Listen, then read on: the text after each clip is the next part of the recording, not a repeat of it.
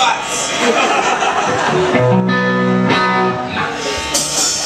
That's a winner. That's a bandit.